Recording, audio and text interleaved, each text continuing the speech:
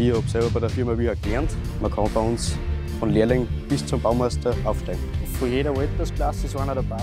Mit der kann man sich richtig gut verstehen und es unterstützt ja jeder. Man hat einfach das Gefühl, man schafft gemeinsam was. Bei uns ist keine Nummer.